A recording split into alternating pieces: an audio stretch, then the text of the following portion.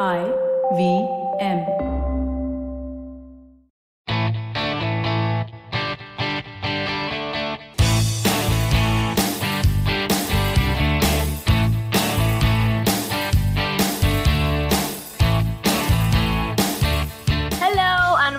to a brand new episode of the Musafir Stories, India's very own travel podcast, where each week we share the journey of travelers in their own words and relive their experiences with you, our listeners. Hey guys, welcome to a brand new episode on the Musafir Stories. Hope you're all well and keeping safe. Now, before we get on with today's episode, some personal news to share with all of you. We are overjoyed to announce that going forward, the Musafir Stories will be distributed by the IVM Podcast Network. IVM or Indus Vox Media is India's premier podcast network and has been the pioneer in the Indian market. It is an absolute honor for us to be partnering with IVM as we continue on our journey exploring India. What does this mean to you, you may think? For the existing listener, not much changes. You can still continue to hear us on your favorite podcast app, in addition to us being available on the IVM app and website. For the IVM listeners, we hope you like and enjoy the podcast. Eagerly looking forward to hearing your feedback. As for today's episode, we speak with Preeti Parthasarathy, the peppy travel girl, as she takes us to one of the most colorful cities of India. Let's jump onto the episode and find out more.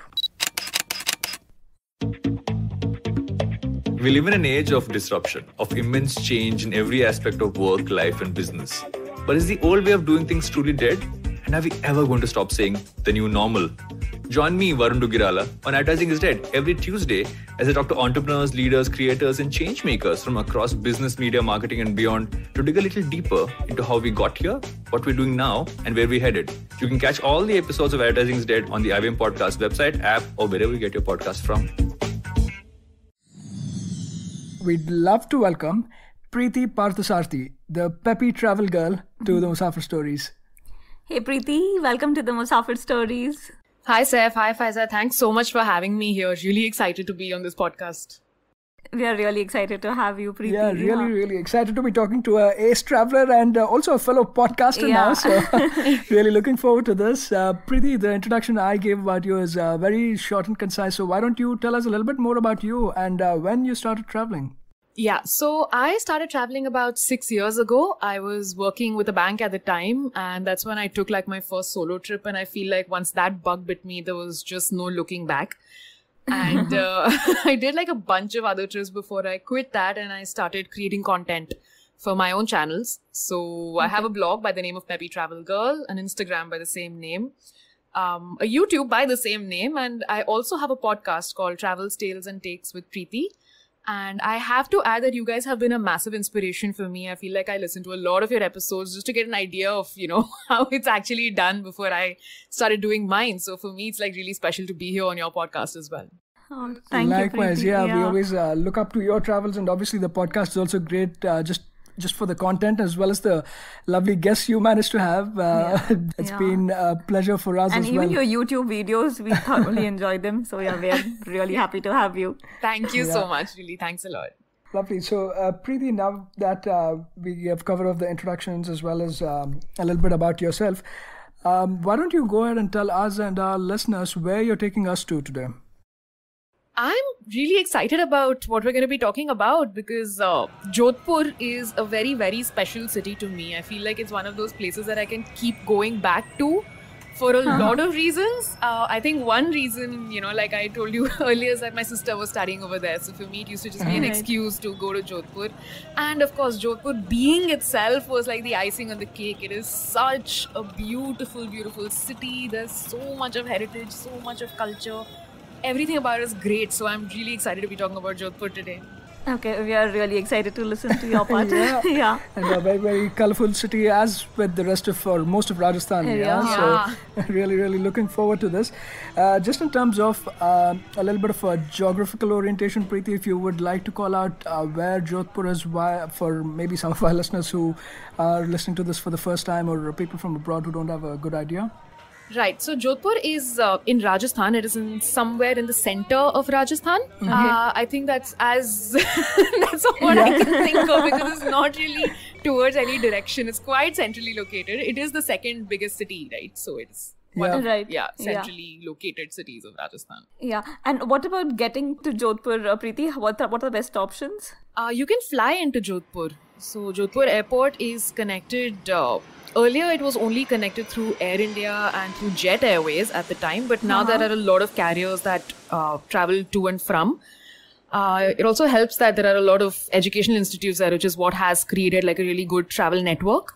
Apart from that, there is the Jodhpur Junction, which is a railway station, again very well connected from major cities in India, and uh, well, well, not just the major cities. It's quite well connected through train as well. Okay, great. Yeah, definitely. And also, uh, just to add in a little bit of a historical perspective to this as well, right?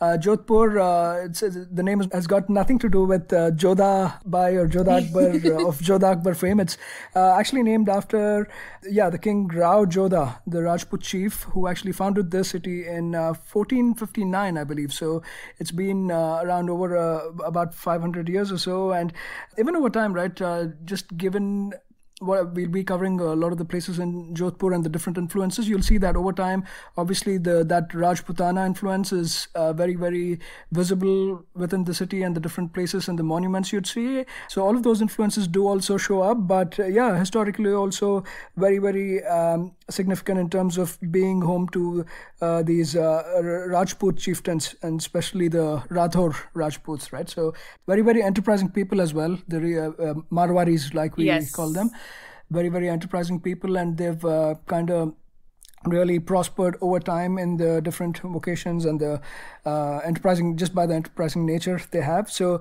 uh, yeah we're really looking forward to uh, exploring and touching upon a lot of those aspects as we talk through this.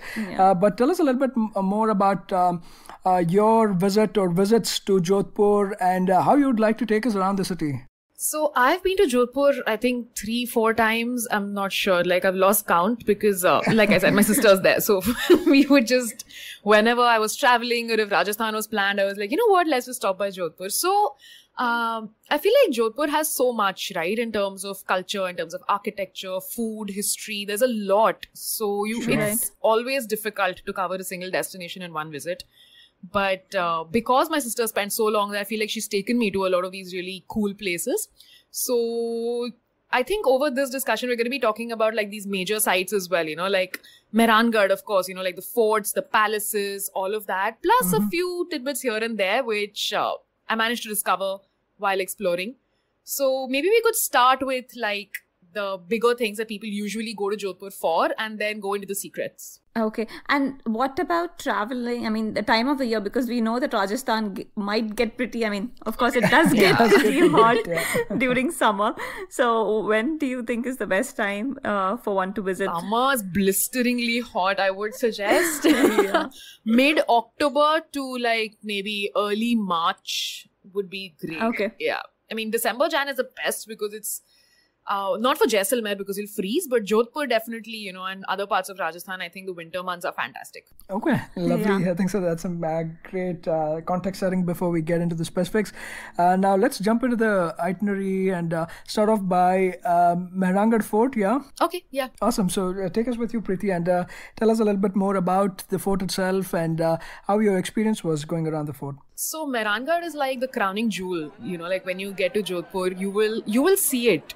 You don't have to really go looking for it because you will definitely see Mehrangarh. You know, that imposing structure atop a hill, staring down at you, and it there's this vibe. You know, this whole royal, regal kind of a feel that makes you want to go there.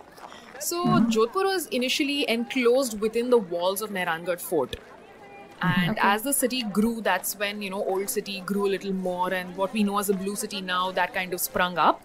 So Right. that whole area is called the Old City, and uh, going to Mehrangarh, it's an absolute must do. So I would suggest going either early in the morning, like just when it opens, or going a little before sunset, you know, like around 4, 4.30.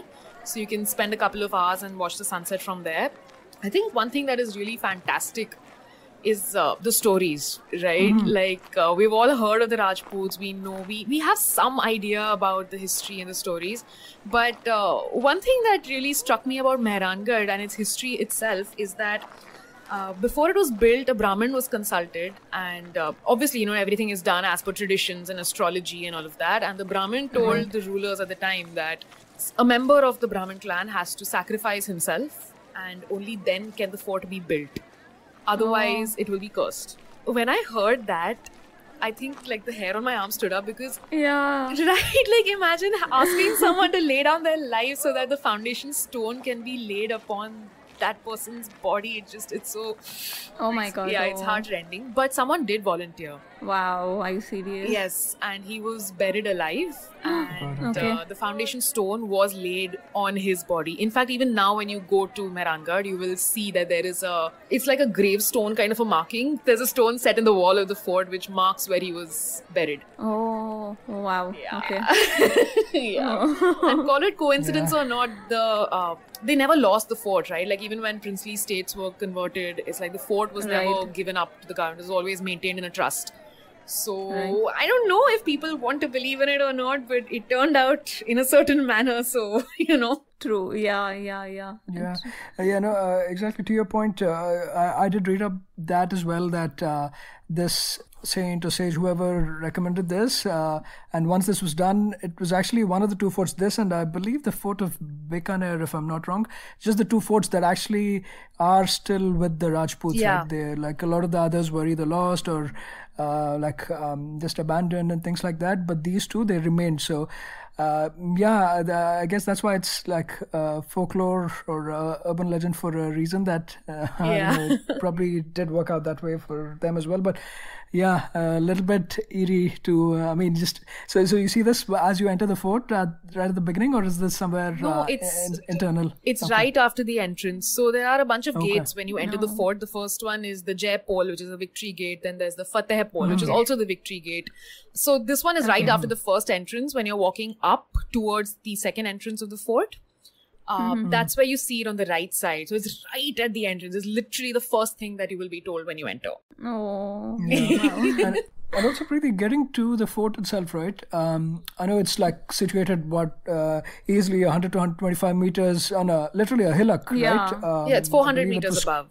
400 feet. yeah sorry. Getting there um uh, like do you just walk it through or do you have to like hail a rickshaw or something to get to the top or uh, how is it just winding lanes acro- around the hill how, how, how do you get there Um, so getting to the main entrance of the fort, you you can take any kind of public transport to get there. But once you're inside, um, I would recommend walking. I think that's the best way to do Okay. it.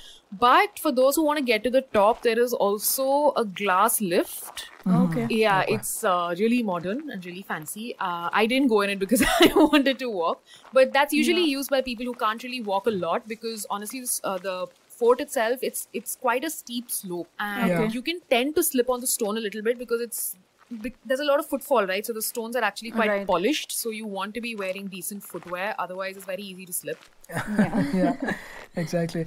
Um, awesome. So you go to the gate, and uh, it's a little bit of a, I don't know, yeah, a little bit of an eerie start. Uh, just getting into the backstories and the fo- folklores associated to this. But uh, what next? Like, wha wha- what else did you check out within the fort? Um, I think when you start walking into the fort itself, you know, there are these musicians who are greeting you, and all of a sudden, even though it starts really scarily, it's like suddenly the, there's this whole uplifting kind of a whole environment because there are singers over there who are welcoming you. Classic Padharo Mhare Des. And then it, it's a classic, man. It is a classic. Yeah. And then as you walk in, you are, you know, in this, there's this courtyard which is uh, it's basically where the main complex is you know where the Diwan-i-Aam the Diwan-i-Khas everything inside there are these exhibits there are the jharokas from which the ladies would glance out. So you're in that courtyard which is in the middle of all of these buildings. And that is actually where you start experiencing the real uh, royal architecture the marwad architecture with the mughal influences. So that's where you end up. And uh, one thing that I loved over there, it's like all of these uh, old structures, right? They have this whole influence of jewelry. So I was having a mm-hmm. lot of fun because when you see the facade of the building, you will start looking at things like Chandbalis and you will see like Oh. you, it's beautiful. It's very, very intricate. It's beautiful. And you just tend to wonder how skilled were these architects back I in know. the day. Right. They wow. just make that building come to life. All of a sudden, you're transported to the lives of the royals all those years Oh. back. So you've gone through the whole uh, warlike structure in the beginning because obviously it's very, very tightly Sure. protected. You've gone through the whole eerie backstory, and suddenly you are in royal Rajasthan. Like you're there Right. for the whole whimsical aspect of it, and it's beautiful. That's where your exhibits are.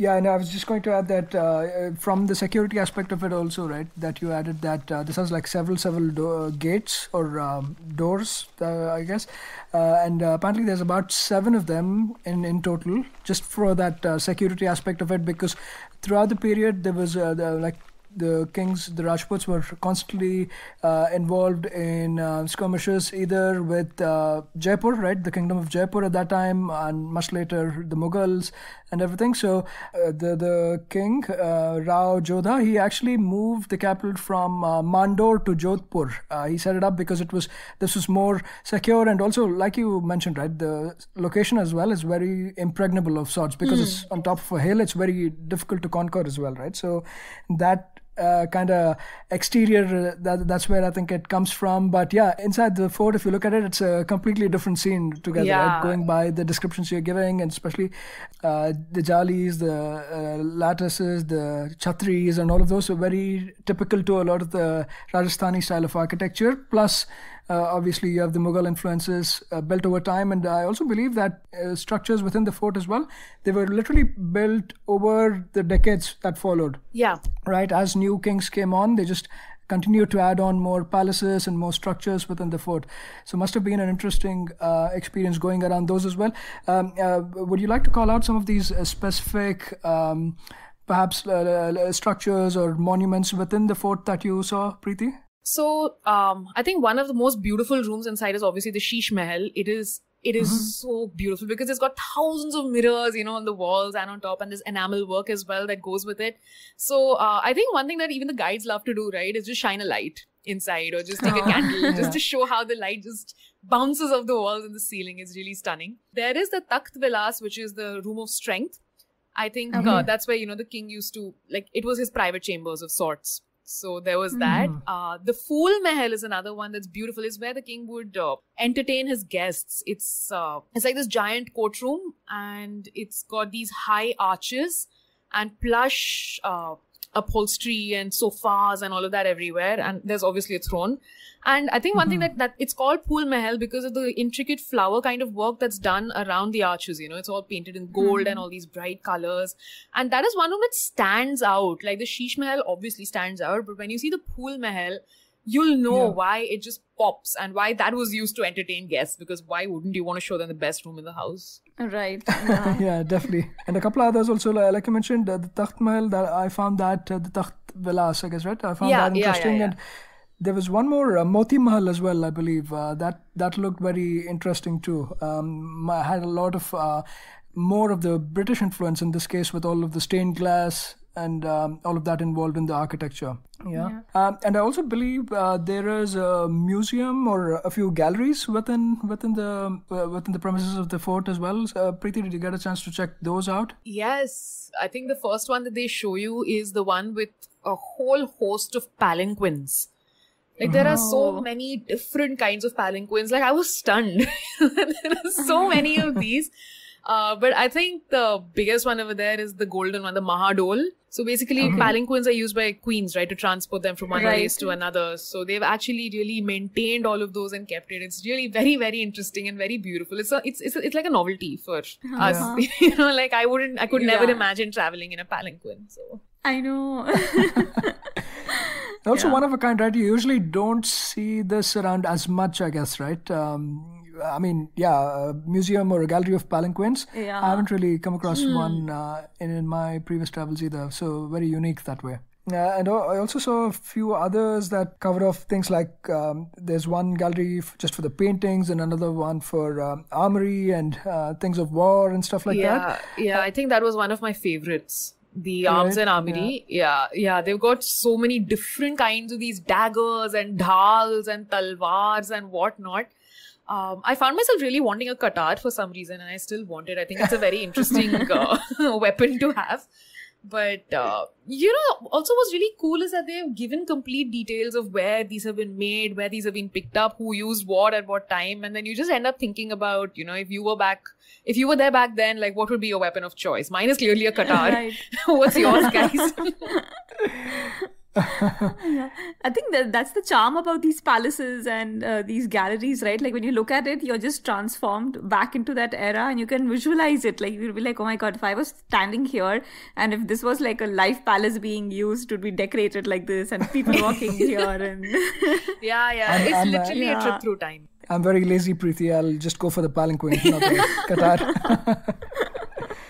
Something with a fan inside, maybe. Uh, but yeah, jokes apart. Uh, but, but another interesting one I came across was also a turban gallery. I understand because Rajasthani turbans are also very, very uh, popular and unique. Yeah, so uh, there was a gallery for turbans. Uh, I don't know if this is um, a seasonal thing or something, or they have it the whole time, but. Uh, uh, that that one's also very interesting and unique to this part of the uh, country, I believe. Yes, they have it the whole time. Uh, also, because uh, so when you look at Jodhpur's history, right, like there's a lot of uh, caste coming up, you know, like in terms of the whole Brahmin thing, the blue houses, all of that. So that is also something that uh, was kind of signified by turbans. So the guide will actually tell you the different types of turbans used by different members of castes.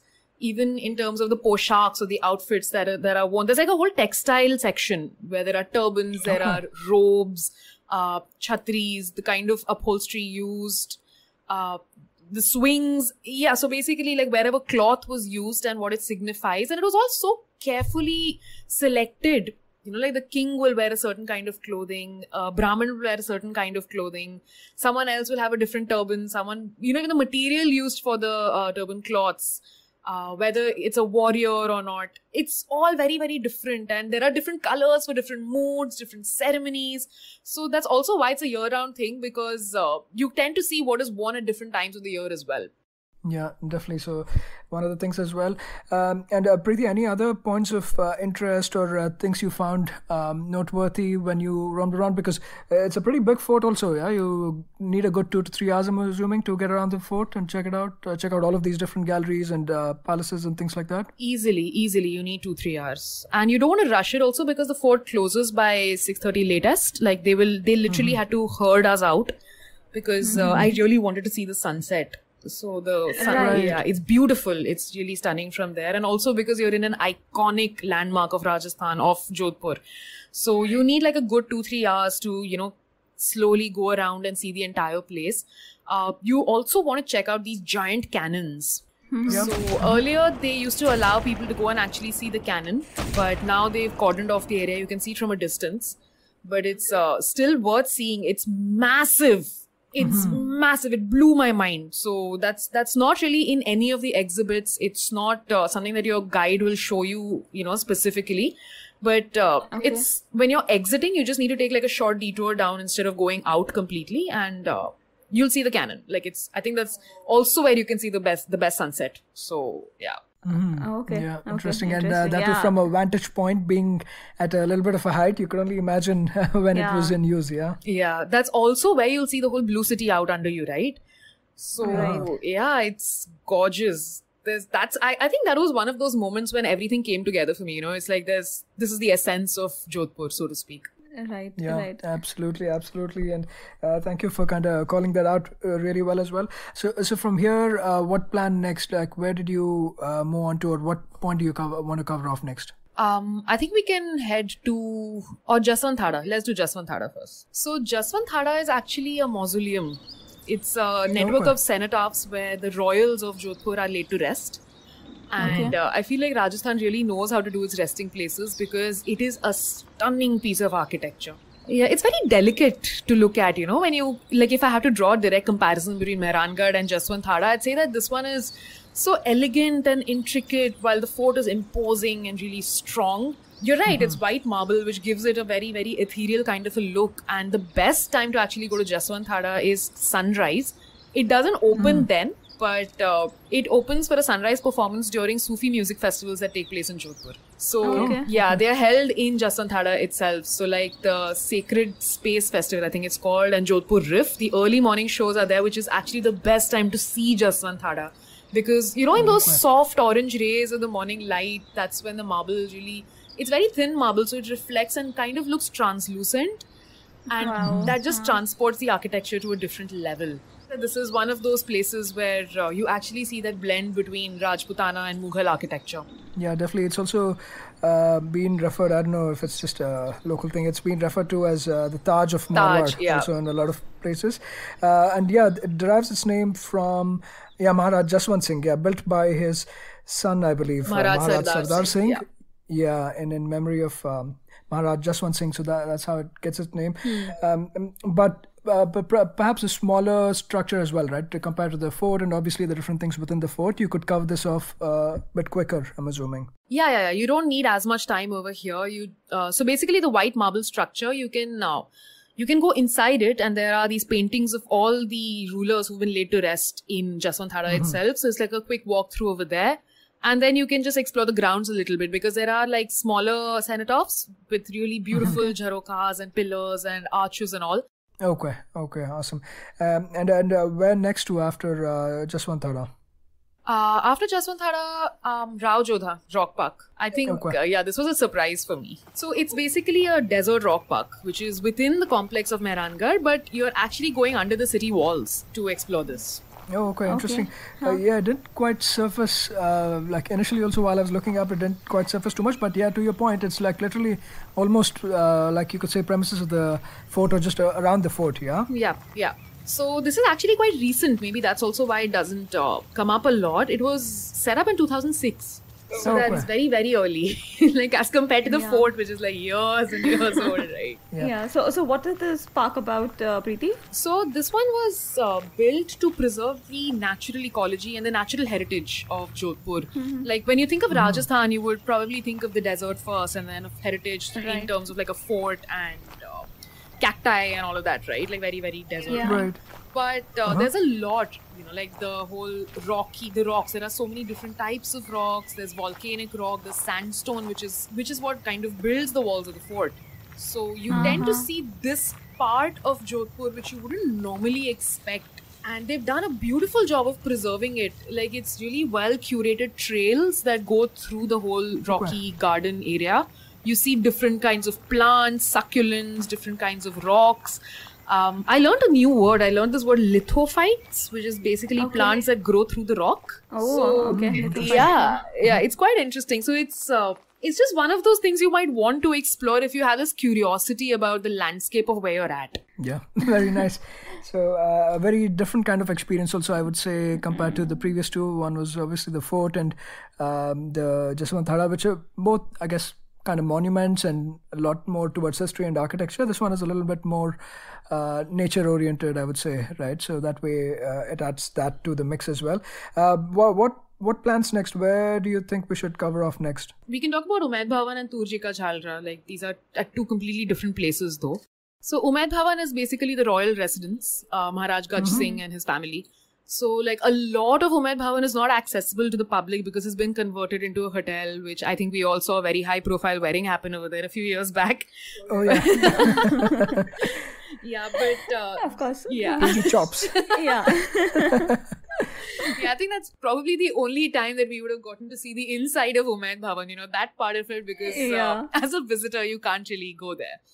Uh, Yeah. But what you can see is the museum, and there are two different kinds of museums. One is, you know, like your uh, typical museum with a lot of photographs and paintings from history and all of that. So you see a lot of stories inside. And uh, the other one is the vintage car museum, which I really liked. Like they have Okay. a the family has a collection of vintage cars, and uh, like you can't really go into that area. It's covered by it. You can just see through glass, basically. But uh, okay. yeah, like it's really cool. vintage cars are really cool. Yeah. Uh, it's quite interesting. Yeah, definitely. Uh, and also, uh, while looking up on uh, Umaid Bhavan, right, the one interesting thing I saw again in terms of um, the legends and the folklores associated to it, right, uh, Preeti, uh, you you did mention about the previous Brahman or the saint who actually um, helped lay that foundation stone, right? Uh, but there's another story as well, a related story, I guess, where there was actually another sage or a Brahman who uh, who used to live on that hill where Mehrangarh was built, and he was dislocated wh- when the Raja wanted to build the fort there, and he cursed, saying that uh, the fort or uh, the ruler will see or the region will see a period of drought every few years, and uh, that's actually also played out that way that uh, are something that's not uncommon in the region. Uh, but Umaid Bhavan, how it came across was that uh, there was a period of severe drought, uh, I believe around the period when it was built, early 1900s, uh, when um, the Raja at that time, he actually commissioned building of this palace so that people could find employment um, because, because the drought severely hit all of the occupations and people were uh, out of work. So one of the reasons that Umaid Bhavan was commissioned was to uh, provide uh, employment to the general populace there. So that was a interesting little bit of a backstory I stumbled upon um, while looking up on Umaid Bhawan. Uh, but, but yeah, like to your point, it's uh, really magnificent looking place, and also I don't know that uh, that palatial part of it, the royal residence part of it. I read that it had like 300 odd uh, rooms, right? Yeah. I, I don't know if it's uh, together across, including the hotel as well, or just that place, but uh, it just reminded me of uh, I I, would don't say know. just the residence. It's Cape. They're I think it's the residence. Even I don't really know clearly, but I do think it's Yeah. the residence.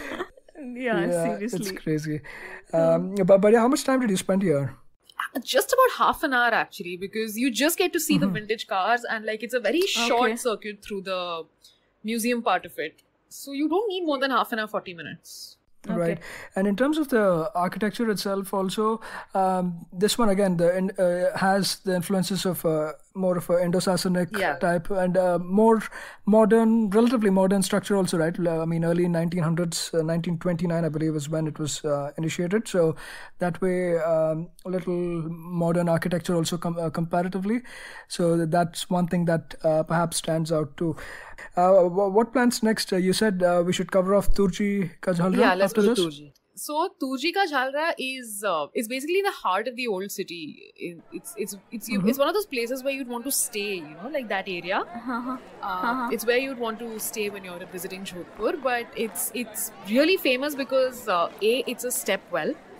And Rajasthan has like a lot of these kunds, right? Like there is Panna Meena ka Yep. kund in Jaipur, and then there is Turji ka Jhalra Bavdi in uh, Jodhpur. So this was built in the 17 in the 1740s, and this was built by the Queen Consort of Maharaj Abhay Singh. The thing is that this is a tradition, you know, like stepwells are usually built by the queens or the consorts. Uh, it's usually done by them, and there are like usually a lot of stories here. You know, like either queen used to come to bathe here or offer prayers here or something like that. And uh, now it's just a very very popular tourist attraction. Right, and also like you said, right, uh, almost middle of the city, or but very unassuming, obviously, because uh, it's a step well. It doesn't stand out until you're uh, closer to it. It seems like it's pops out of nowhere. Yeah, yeah. Like there. a lot of Yeah. people, you know, they actually go looking for it and they feel like there's going to be like a massive direction board or, or a signboard or something. But no, it, it's just there, you know, like you'll see it and you're like, oh, there it is. Exactly, um, and also I believe like for a long time this was uh, literally misused and uh, used as dumping grounds or whatever, and it was fairly recently that it was actually.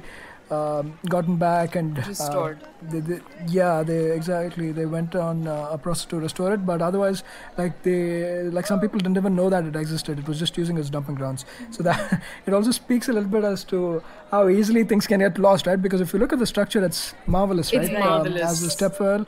And uh, it's not just a stepwell, like within the stepwell as well, the different structures and things like that. Uh, the intricate architecture, it's beautiful. It's beautiful, really. Uh, and, and I'm glad that it's been restored because you don't really see this a lot. You know, like this kind of stuff really needs to be preserved. Those diamond steps and all, it's very, very unique. And I'm assuming, uh, given that it's not too huge, uh, you don't really have to uh, spend too much time, uh, like getting to here or even looking around. Um, you could make this a part of your uh, quick day itinerary while you're visiting the other places. Yeah. Yeah, so basically, when you're in the Ghantaghar area and you're, uh, you know, in that old city area, you can just stop by here for 15 20 minutes. Although, mm-hmm. if you want to go and jump in it, that's a different discussion. like there are kids who do backflips into the stepwell, and it's not strictly illegal because there's no lifeguard or anything. But kids do it. Like people do it. They just jump off the stepwell. Like you don't want to shower in the morning, you can just go jump off, then take a shower. You know, get on with your day. Okay, so maybe you could add that to the bucket list if you'd like to jump off of a step well. Yeah. Good luck with that. Uh, but, but yeah, what was your plan? Did you plan on uh, heading out to uh, the Sardar market in the old city area from here, or um, wha- how did you mix it up? So we actually stayed uh, at a hotel that faced the stepwell. So then I, it was just my daily view from the window. But uh, this is like this is if like if it, this is part of the itinerary, then you'd want to li- connect it with Ghantaghar and Sardar Market, which is basically where you want to go for all of your shopping. Yeah, Okay. yeah, definitely. And speak a little bit about that as well. And uh, even before we get to maybe Sardar Market and Ghantaghar, uh, the old city as well, right? I mean, you could perhaps spend a day just getting lost in the old city with the blue walls and the blue buildings. Yeah, Oh, absolutely. Those tiny lanes and little by lanes, and you can just walk. You can just walk and get lost, and you will end up at the other side of the whole old city area. I think the blue walls are really famous, right, in Jodhpur, and uh, they're refreshed Sure. before Diwali every year. So, if one does want to see the blue walls specifically, then that's the best time to go. Although now, because you know, there's a lot of sandstone that is used, a lot of uh, residents just tend to leave it as that beige tone. But like the deeper you walk around in an old in the old city area, the more your chances of finding those really really special blue walls that give the city its moniker, right? Yeah, exactly. Uh, and also, obviously, it's beautiful, and uh, given that uh, it almost becomes like the identity of the city, right? The blue city, or uh, compared to the pink city and things like that.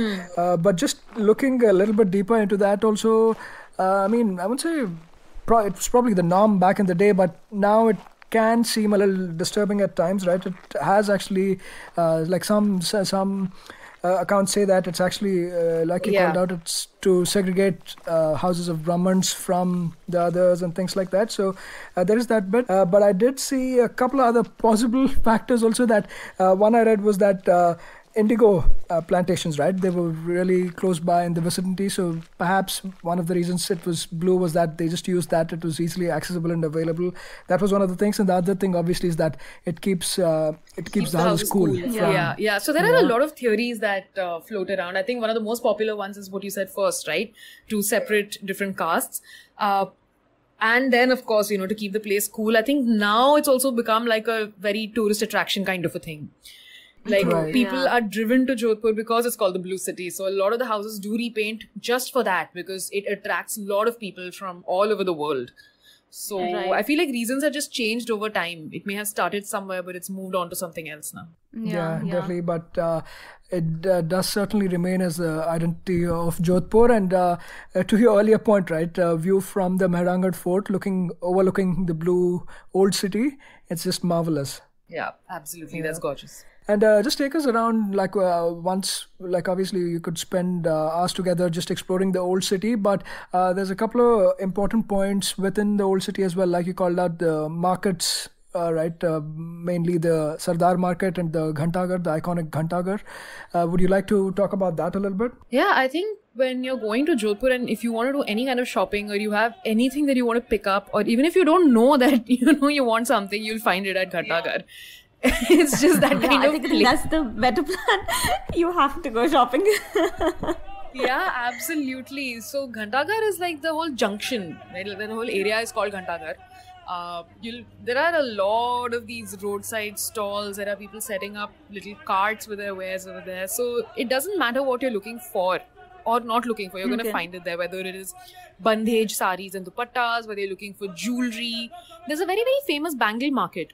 You know, like just when you step out from Ghantaghar and instead of going straight towards Sardar uh, Bazaar, if you just take a right, that entire lane has a hundred bangle shops. okay. Yeah, and because the Lakh bangles there are so famous, that's what really sells in all of these designs and colors. It's very, very traditional to Jodhpur. Yeah, I think, I think shopping is something that you actually don't need things, but you see them, and then when you see them, you really need them. Yeah, and this area Yeah. does it really well. Like just the fact that they they're there, it's like you know they're telling you that you need this. probably do a full episode just on shopping, in yeah, Jodhpur. Yeah, shopping anywhere, I guess. Yeah, Faiza. Of course, yeah, yeah.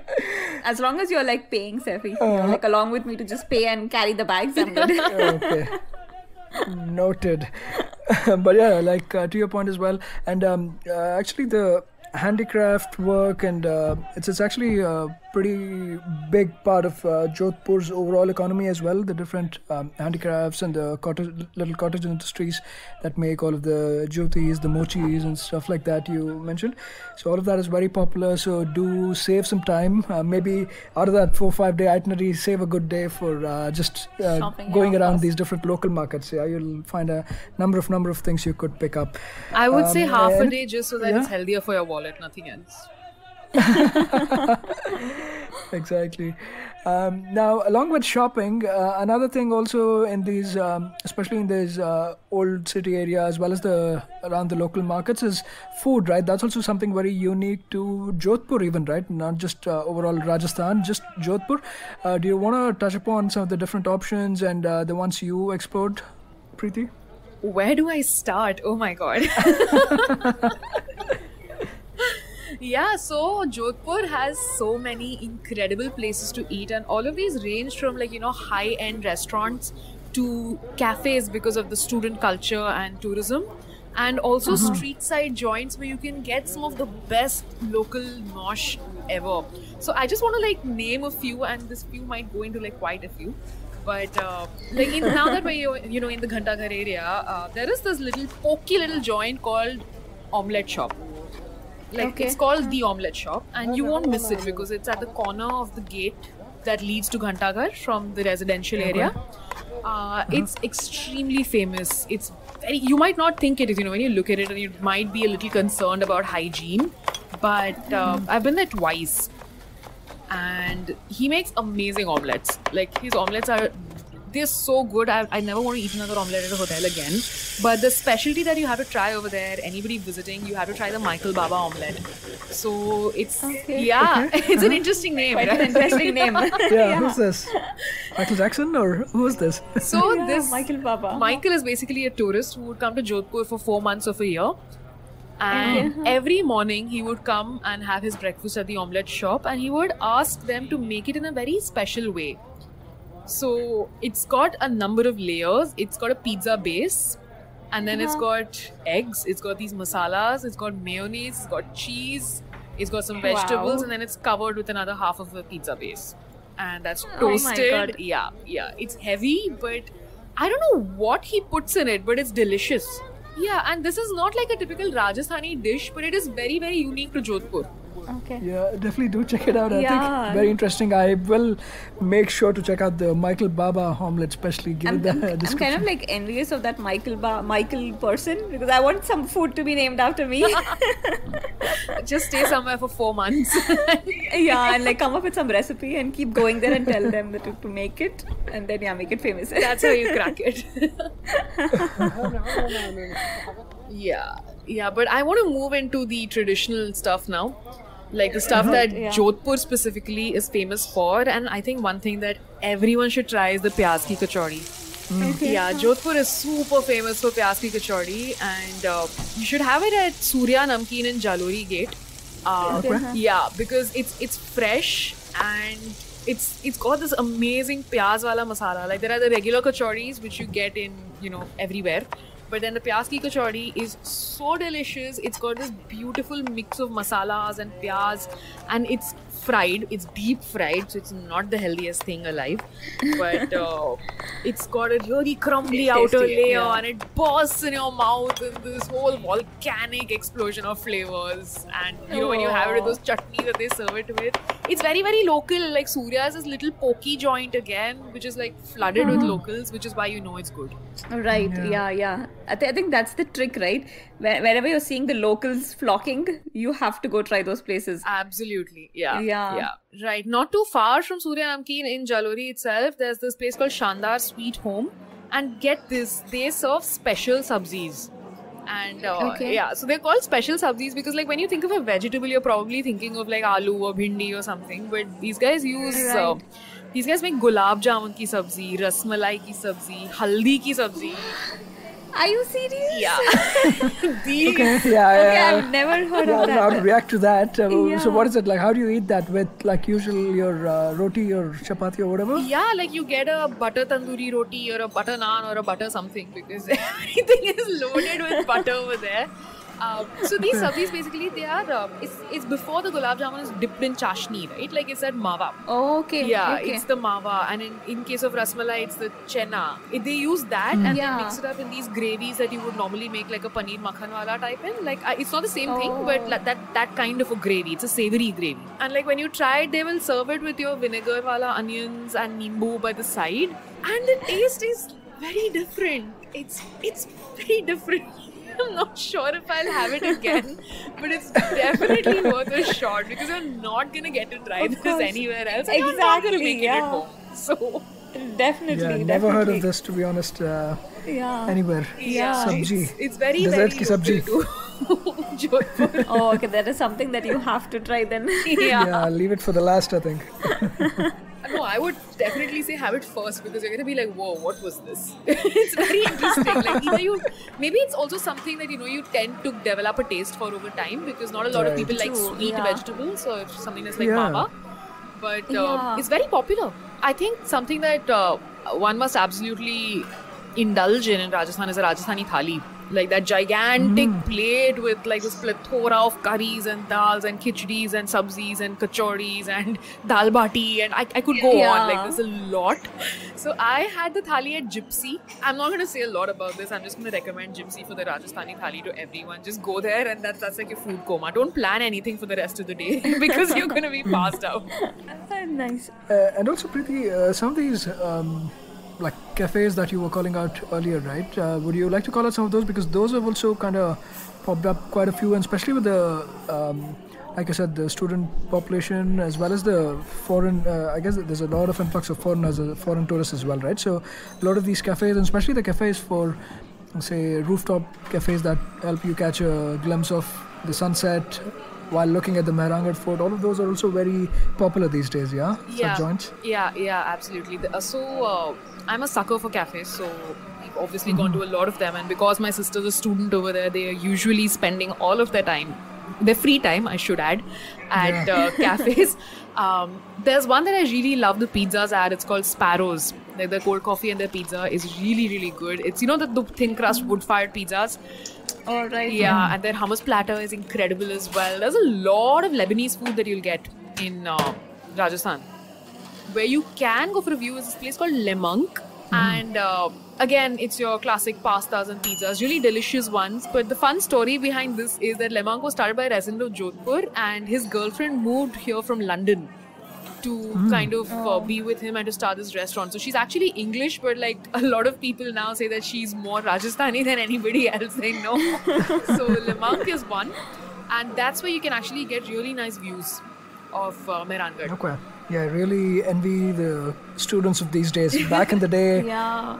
I just used to spend my time in the college canteen, not Yeah, in cafes, with my paltry 200 rupee monthly, what's that, uh, pocket money. right? yeah. Uh, but yeah, definitely for uh, people interested in um, cafes, there's a lot, a lot of options, right? Especially, uh, like I said, these rooftop cafes and uh, the ones with a view and everything. You can just go and chill as you watch the sunset and spend some time there. Um, and uh, any any other uh, food-related places or experiences you tried out? Yeah, I want to mention two places here. Uh, these are experiential and they are high end. One is Khasbagh, which is on Police Line Road, and Police Line Road is where all of these fancy hotels are. You know, like these are the exquisite places where you want to go when you just want to enjoy luxury. And the food in Khasbagh, we ha- I had a gatta curry, and I love gatta curry, like uh, gatteri sabzi. Okay. What is that? Gatta is made of besan and it's cooked in a curry. So it's uh, ah, how do I explain this? It's like uh, pieces of besan, Huh. which is made in a Rajasthani curry. So it, it's it's again like one of those sabzis that is not really a sabzi. Okay, so like besan sausages. So, Oh. yeah. Okay. Okay. Yeah, so it's like tiny little dumplingy thingies, like they're really small. Yeah, it's it's one of those traditional dishes, and it is really really delicious. Best had with like a butter naan or a tandoori roti. So wonderful. Yeah, uh, perhaps we could make part two and part three of this as uh, one for shopping and one for uh, food. of course. yeah, Yeah. easily. cool. Uh, I- I think is, is that um, pretty much. I, I I think I'll take a break, uh, especially with the, The fasting. fasting and with the food. yeah, I'll that's all. I'm not going to probably drool now next. yeah, cool. Uh, now we've covered off a lot of the places in the old city area, right? You cover the shopping bits, the food bits, uh, food bits as well. Um, many of them around this area. Uh, the other interesting fact I came across was that um, polo, right? Polo was also pretty popular during the time of the rajas and everything. And uh, related to that the riding breeches that the pants basically that you wear they they're actually called jodhpur um, breeches right? So that's yeah jodhpur exactly. So that's very popular and related to the region. And uh, as well as bandgala is also apparently like uh, had a um, initial association to the region. So that's something really interesting I came across. And uh, the couple of things um, you mentioned earlier as well for someone who's um, a connoisseur of art and music and things like that. There's the um, important festivals, RIFF being one of them. Yeah, um, the folk festival. Rajasthan International Folk Festival, Preeti, that you mentioned. Uh, did you say Jaswant Thada that this Just happens at? Yeah, that's one of the locations. Yeah, one of the places. Yeah. So things like that are also uh, a lot of the other experiences that one can indulge in if you're looking at uh, things beyond the things we discussed upon. Um, but Preeti, I'd really, really like to thank you for uh, kind of calling out a lot of these uh, wonderful, wonderful places. Right. For me, uh, at least up until now, I would just associate um, Jodhpur and the Mehrangarh Fort to uh, what was that? Um, the Dark Knight Rises. you, get, you get a glimpse in that and looks like magnificent, but that's about it. But uh, thank you so much for kind of taking it through, taking us through like the different aspects and uh, the different um, colors and uh, just the flavors of Rajasthan and uh, Jodhpur specifically, right? That uh, we covered off right from the identity with the b- blue city and the uh, history and the backstories behind that to obviously the food, food and, and the the shopping shopping. bit of it that we couldn't really uh, have Yeah. enough of. Yeah, pretty much like a local. Like you've given us all those insights about the shopping and the food. So thank you so much. And even the new dishes, like so many new dishes. I think in the coming days I'm going to Google the recipes and try making gut gatte ki sabzi and uh, yeah, a lot of things. And Preeti is almost a local, I think, with uh, Preeti's sister actually being there for a few years. Yeah, that Preeti really can be helped, considered actually. local. so thank you so much, Preeti. yeah, thank you so much. It was wonderful to have you. No, I'm just glad. Thank you so much for having me here. I'm so glad I could relive all of this with you and just talking about it with you guys has brought back so many stories. Thank you so much for having me here. It's just been so much fun. That was yet another great episode on the Musafir Stories. Make sure to show us some love by sharing the podcast with your friends and family. We are on Instagram and Twitter at Musafir Stories. If you like this podcast, don't forget to check out other interesting podcasts on the IVM network. You can listen to us on the IVM Podcast app or the website. Follow us on our social media. We are at IVM Podcasts on Twitter and Instagram. I hope you enjoyed that show. If you aren't following us on social media, please do. We're IVM Podcasts on Twitter, Facebook, and Instagram. I'd like to thank the sponsors on the network this week, Cred and Sia. Thank you so much for making this possible. We've had an amazing week on the network. Do check out the note with Mahrukh Inayet. She speaks to Prabhat Kumar, the man leading child protection at one of India's leading NGOs, Save the Children. On the Habit Coach, Ashdin was joined by Rajat Mittal Shah to talk about some superfoods in Ayurveda like turmeric and ashwagandha. On Paisa Vaisa, host Anupam Gupta has a digital gold special in two parts one with Ashraf Rizvi, founder and CEO of Digital Swiss Gold, and Gilded, and one with Deepak Abbott, co founder of India Gold. Listen to the first part of the Father's Day special of Agla Station Adulthood with Natasha and her father, Dr. Vipul Roy Rathod. You should also check out Cyrus Says' episode with Mukul Chadda. He talks about upcoming shows Sunflower and Sherni. Our Kannada podcast, Thale Harate, celebrates 100 episodes, and we had a reunion of hosts Pawan, Ganesh, and Surya who shared their favorite moments from the past. Shiva Mehta is back with the second season of Smile India. The show is available in both English and Hindi. On this episode, she talks about the conversion from bag teas to bagless ones and how we should ditch the plastic and have a great tea experience. And with that, I hope to see you again next week. Namaskar, dear friends. My name is Ashish Vidyarthi. Life, as you know, is a journey. And you and I, travelers, how can we celebrate this travel? I have a podcast for you. Begin the journey. I share stories and moments from my life. Do tune in every Monday and Thursday to listen to my podcast on the IVM Podcast website, app, or wherever you get your podcast from. Cheers.